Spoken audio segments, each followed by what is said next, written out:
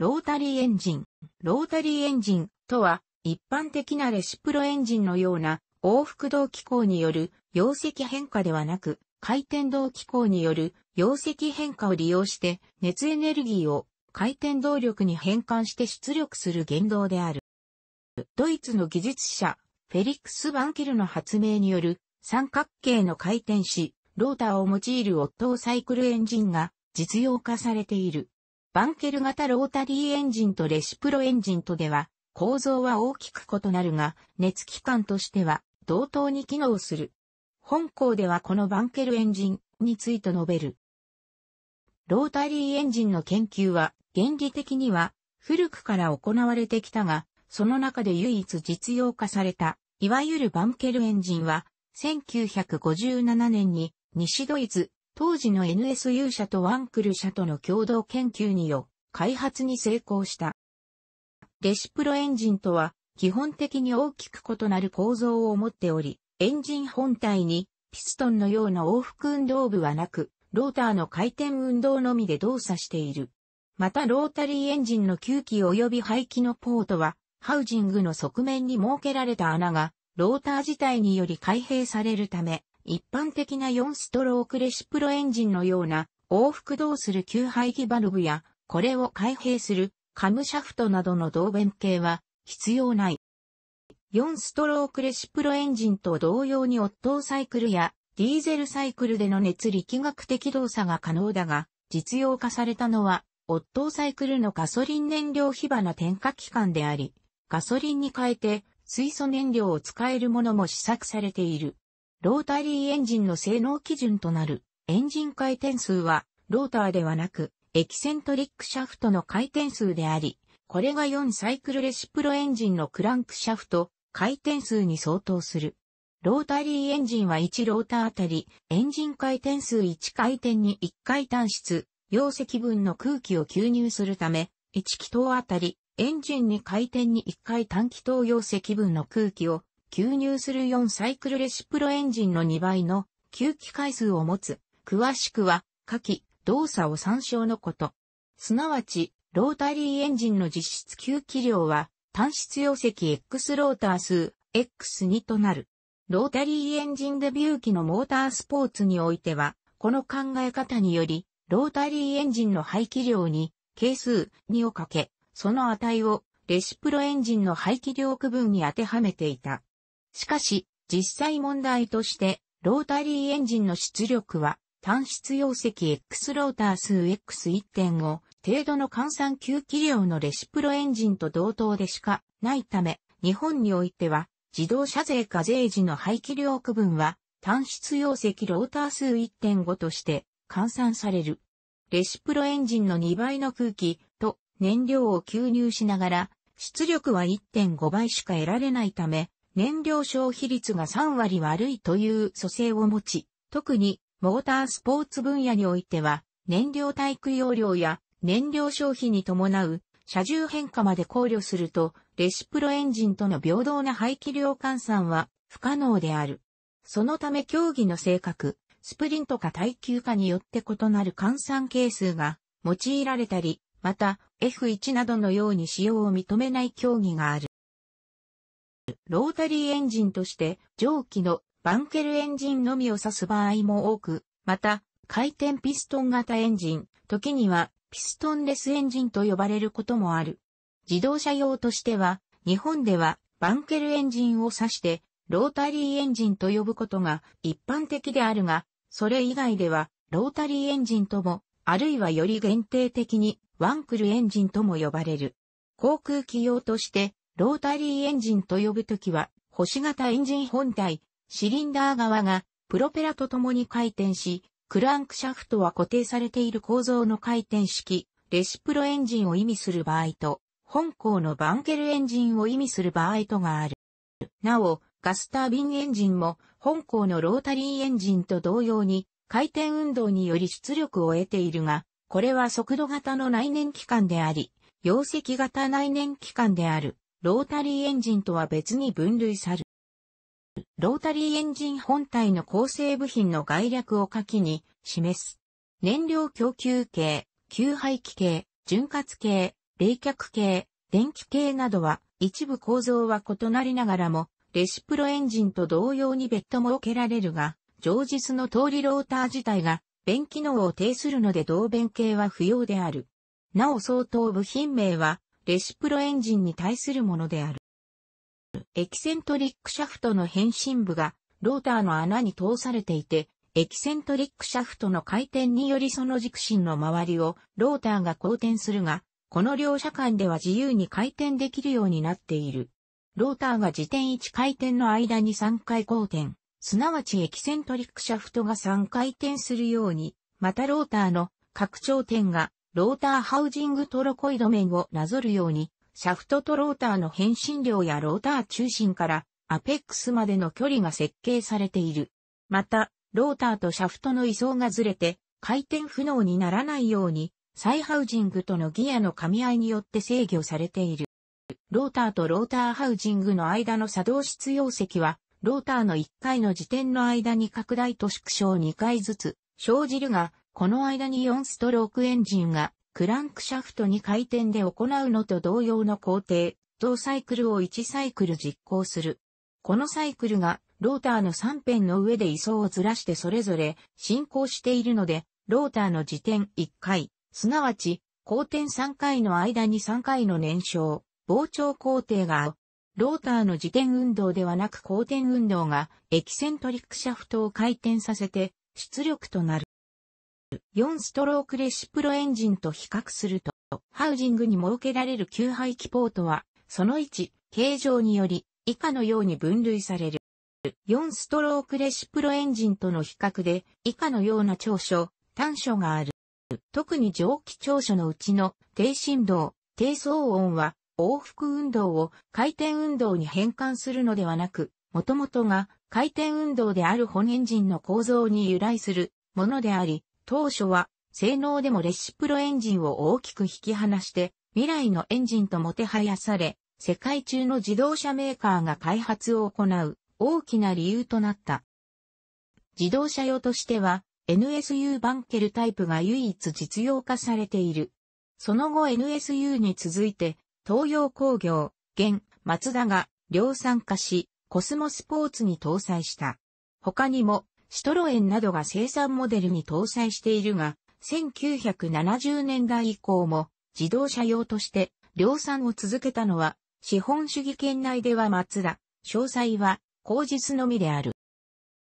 1970年代前半には開発途上にあった。東京モーターショーにロータリーエンジンを搭載した。サニーを参考出品し、二代目シルビアはロータリーエンジンを搭載することを前提に市販間近と言われいた。しかし、1973年に起きた第一次オイルショックに見舞われたことを機に、省エネルギー志向に切り替わった社会情勢においては、燃費の良くないロータリーエンジンはふさわしくないとの理由、結局は市販には至らなかった。純粋な技術研究としてロータリーエンジンを研究してはいるが、市販の計画は全くない。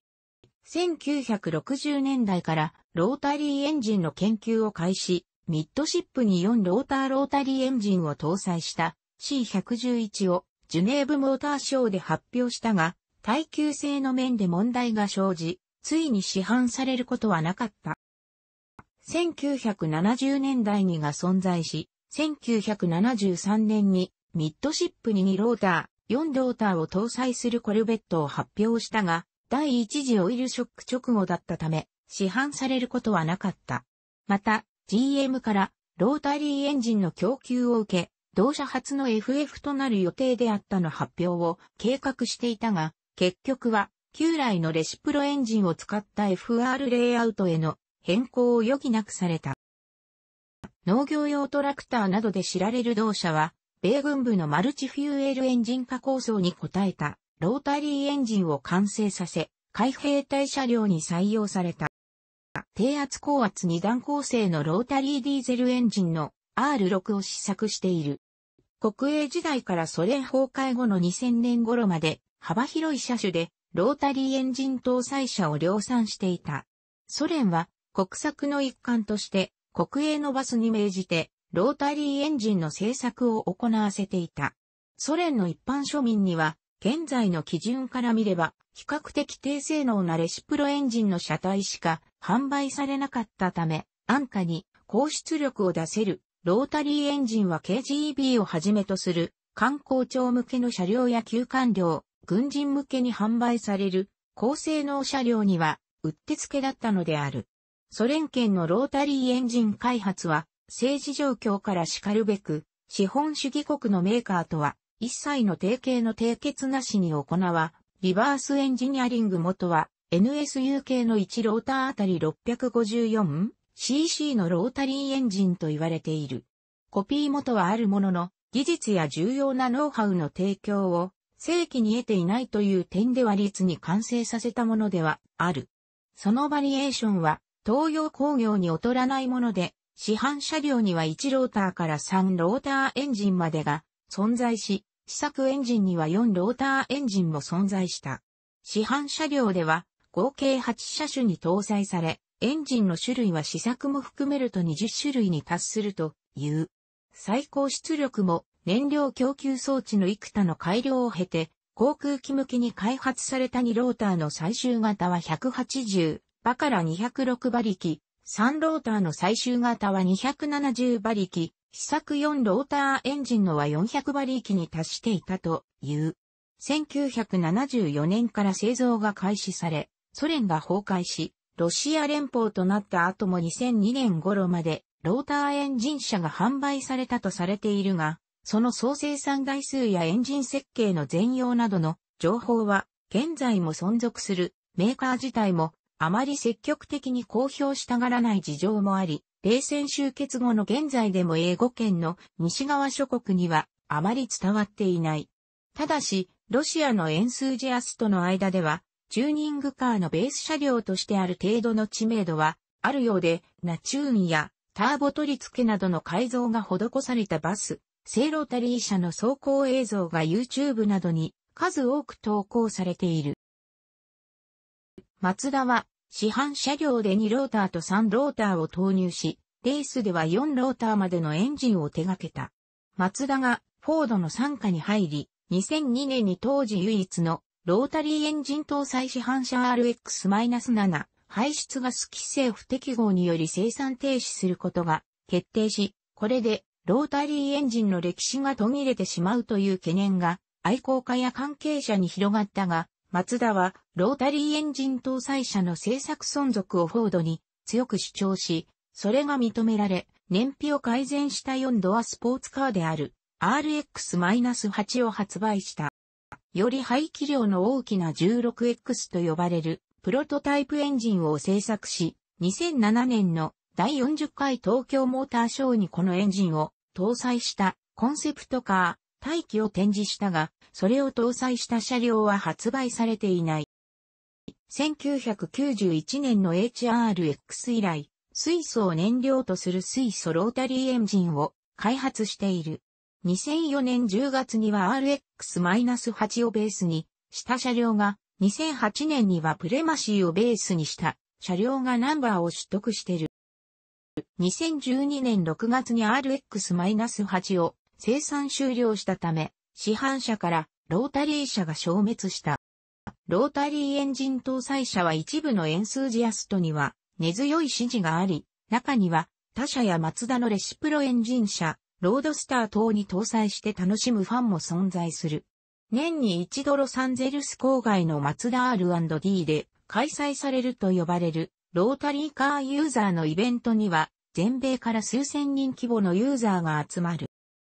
RX-8 の販売終了時に、マツダはレンジエクステンダーシステム、電気自動車の発電用や水素ロータリーエンジンとして活用することを発表した。2013年12月にデミオ EV にレンジエクステンダーシステムを搭載した試作車を報道陣に公開した。2017年時点でも水素 EV 向けロータリーエンジンの開発を継続している。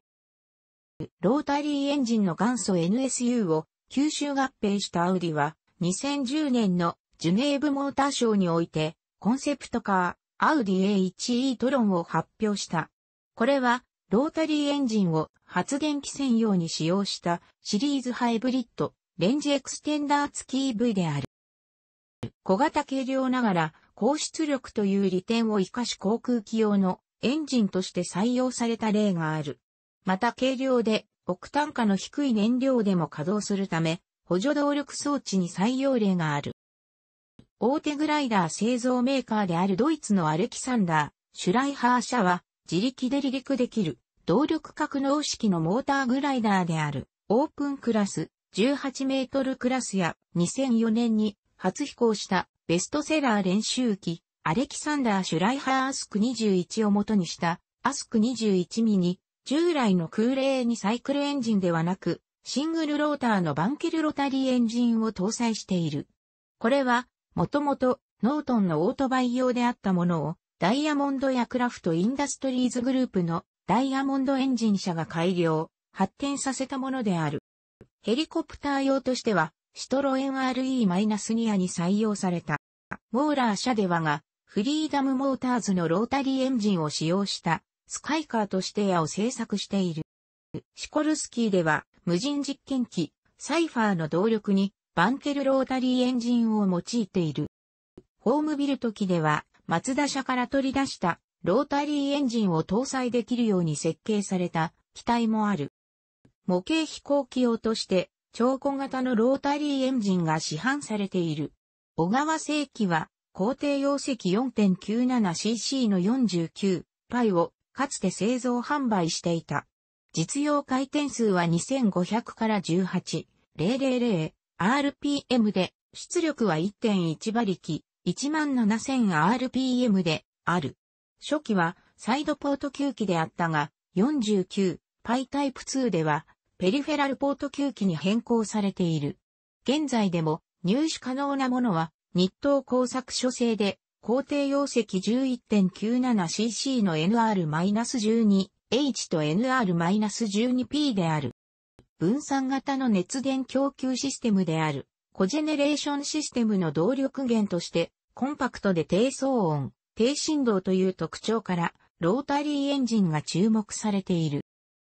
2002年に広島ガス、2003年に中国電力が、マツダの自動車用、ロータリーエンジンを組み込んだシステムを試作、LP ガスを燃料として実証試験を行っている。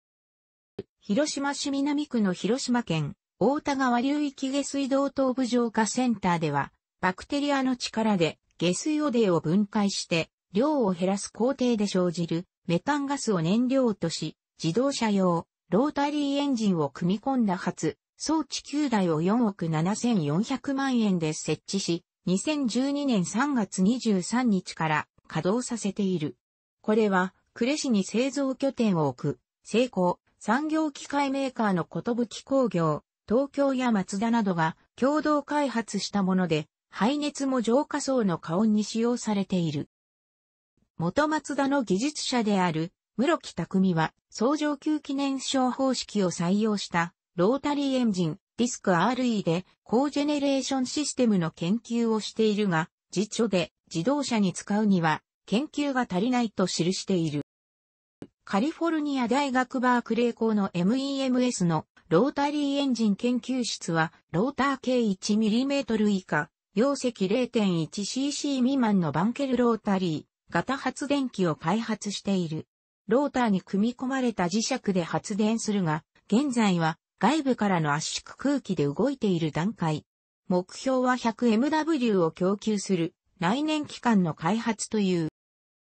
1959年、昭和34年、西ドイツ、当時の NSU、後に、アウジ NSU アウトニオン AG を経てアウディニが、フェリックス・ワンケルと共にロータリーエンジンを試験開発したと発表した。日本では、1965年、昭和40年の乗用車輸入自由化に向け、通商産業省、現経済産業省主導による自動車業界再編が噂されていた。後発メーカーである東洋工業、後の松田はその波に飲み込まれ、統合、合併の危機が迫っていた。技術は永遠に革新であるをモットーとする当時の松田常次社長は、事態打開を目指し、1960年、昭和35年に NSU と技術提携の仮調印を行った。契約に際して NSU から提示された条件は以下のようなものだった。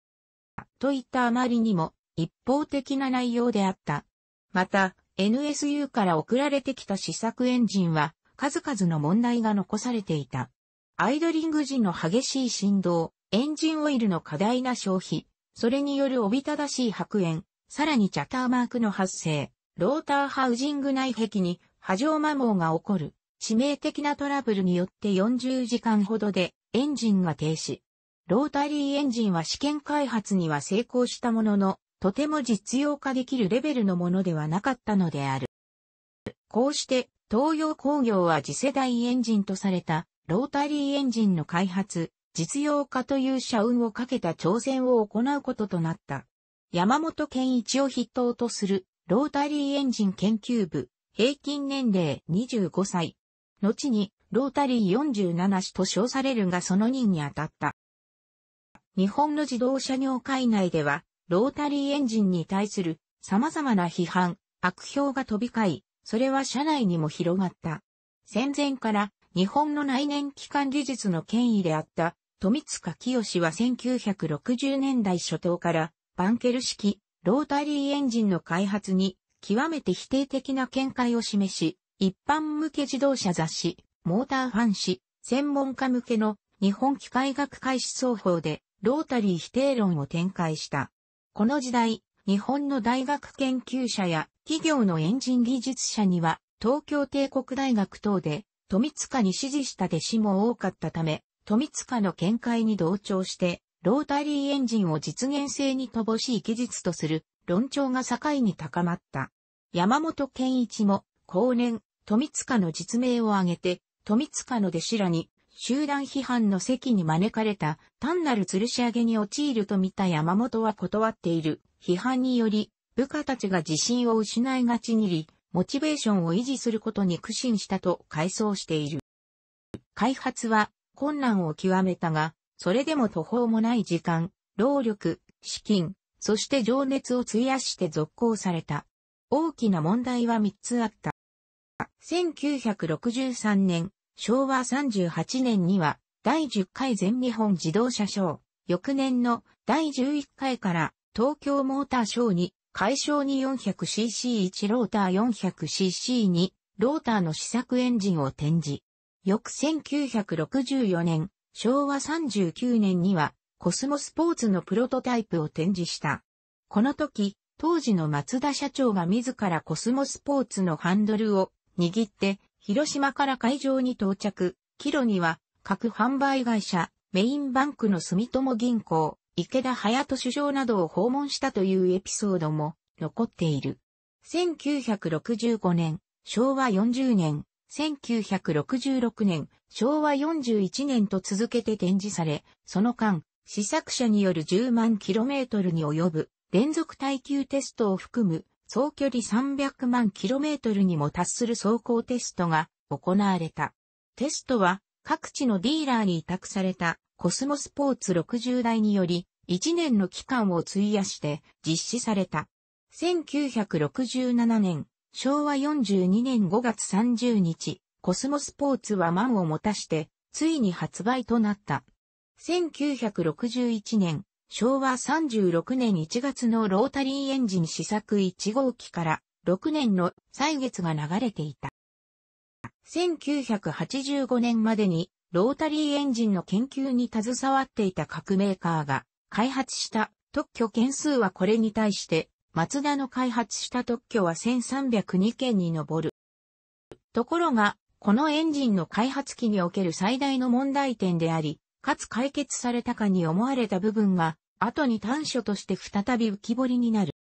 オイルショックによる原油価格高騰の影響で NSU と提携した各社はロータリーエンジンの将来性を見限って開発から撤退、本家 NSU もロータリーエンジン車生産を中止した。マツダは唯一市場に踏みとどまったが、採用車種は年を追うごとに減少し、1996年以降は1車種のみの生産に止まっている。RX-8 のロータリーエンジンでは、排気ポートをペリフェラルポートからサイドポートに変更して、従来からの燃費悪化要因の一つであった給排気のオーバーラップをなくして燃費向上を図っている。しかし、レシプロエンジンの燃費も向上しており、依然として燃費はロータリーエンジンの最大の弱点であることは変わっていない。また、排気ポートの変更によって、サイドシールの摩耗やススの付着といった新たな問題も発生した。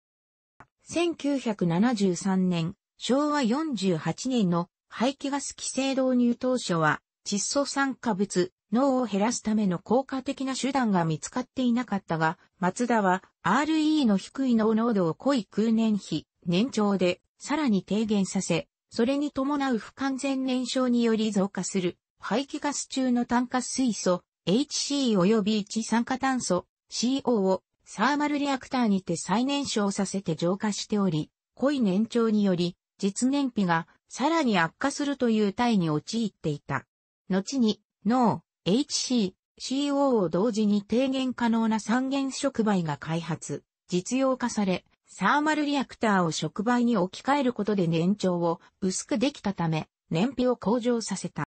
松田はコスモスポーツの発売開始以降、1970年代、車の主流はロータリーエンジンへ車の主流を変えるロータリーの松田というキャッチコピーとともに各車種への展開を図った。13A 以外は全くの新開発ではなく既存の生産設備を使うため 10A をベースにローターやハウジングの厚みを増して排気量を上げたものである。そのためローターの厚さ以外の基本寸法は変えられていない。1990年代以降には水素ロータリーエンジンが松田によって研究開発されている。水素燃料は再生可能エネルギーの一種であり、また燃料電池用の燃料としてのインフラ整備が課題に上がっていい。その水素燃料を容易に転用できる内燃機関の一つとしてロータリーエンジンは有望である。これは、レシプロエンジンとの比較で、吸気室と燃焼室が分離している上に高温となる、排気バルブも痛め、仮想着火やバックファイアーといった異常着火が発生しないこと、また体系となる水素インジェクターを燃焼にさらされずに済む吸気室上部の広大な場所に設置できることという構造上の利点があり、さらには水素は燃焼速度が速く縦長で扁平な燃焼室形状という欠点が問題になりにくいという相性の良さもあるためである。現時点では高純度の水素を必要とする燃料、電池車などと比べても、はるかに現実的な解放である。また燃焼時のススが少ないため LPG や CNG などのガス燃料であれば、水素以外でもロータリーエンジンの方がレシプロエンジンよりも有利であるとされる。ただし、LPG や CNG はともかく水素においては、インフラの整備に目処が立たないこと、水素の場合において、水素急増合金を使用すれば、車が重くなり、高圧水素タンクを使用すれば、衝突時に爆発の危険があること、そのどちらにおいても、航続距離が短距離に止まることなど、ロータリーエンジンに限らず、水素自動車用エネルギー源として使用する上で、解決すべき課題はまだ多い。NSU の原設計をベースに、マツダにより開発、販売されたものが日本のみならず、世界でも最も著名である。2019年現在、市販されている車種は存在しないが、水素を燃料としたものや発電用として開発は継続されている。ドイツはロータリー発祥の地ではあるが、市販にこぎつけた車種はごくわずかである。RE は構成部品が圧倒的に少なく、特に組み付けと調整に多くの時間を要する導弁系を持たないことや、ジャーナルとキャップ間などのオイルクリアランスの管理箇所が少ないことで、オーバーホールの時間を大幅に短縮でき、レースユースには非常に適している。ローコストで高性能が得られることから、多くのプライベーターの支持を受け、1970年代以降の日本のモータースポーツ界を支えたが、1992年頃より、マツダがレースから完全撤退してしまい、マツダスピードも形骸化、後に解散してしまったため、日本国外の現地資本によるワークス活動を除き、ロータリーでプロレベルのレース活動をすることは非常に困難になっている。また採用チームの少ない割に性能均衡が難しいことから、ロータリーエンジンの搭載自体を禁止するカテゴリも多く、規則の自由度が高いことで知られる WEC、世界耐久選手権の LMP1 規定すら、レシプロエンジンしか認可されていない。現在トップカテゴリで、ロータリーエンジンが禁じられていないのは、世界ラリークロス選手権のツーリングカクラスや WRC3 のようなアマチュア向けの市販車クラスのみとなっている。ごく少数ではあるが、マツダスピードからサンプラグサイドポートハウジングとペリ空気ハウジングが発売されていた。RE 山宮がスーパー GT で走らせていた FD3S に搭載されていたが、バージョンの20バイト型エンジンは中古車であるユーノスコスモのエンジンである20バイトを元にしたものである。北米大陸ではフォーミュラマツダとプロマツダチャンピオンシップで使用される。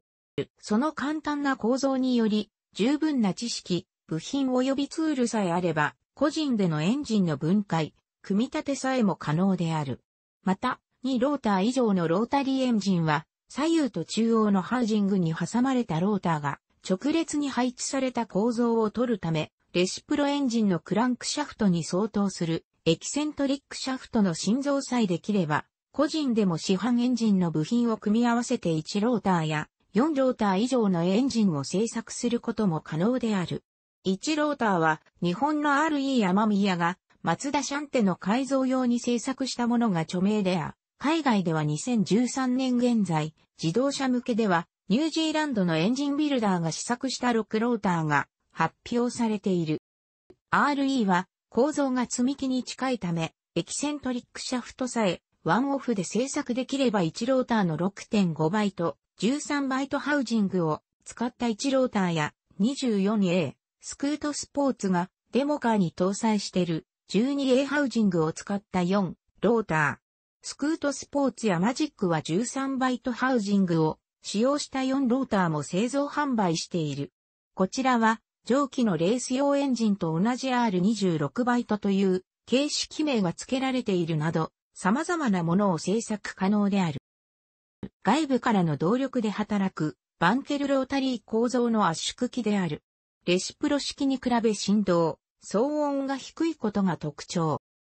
バンケルロータリー構造を内燃機関用スーパーチャージャーに応用したもの。実験は行われたが、十分な下級効果を得るためには、ロータリーエンジンの2倍ほどの大きさのハウジングが必要とるため、実用化はされていない。油圧モーターの中で油圧ショベルの駆動輪などに用いられているものはバンケルロータリー構造のものが多い。奇抜なものとしてシートベルトプリテンショナーがある。メルセデス・ベンツでいくつかの車種に使用されている。これらの自動車では衝撃を感知すると電気的に小型のガス発生器に点火されて作動で減圧されたガスが小型のバンケルロータリーモーターに供給されてシートベルトを巻き上げる。乱筋サイクルによって作動する外燃、外熱バンケルロータリーエンジン。各種プラントの排熱を機械エネルギーとして、また発電機との組み合わせで電力として回収するために用いられ、沸点の低いアンモニアやエタノールを作動流体とすることで、従来利用されることのなかった捨てられていた温度域が摂氏40度摂氏150度程度の排熱からでも動力を取り出せる。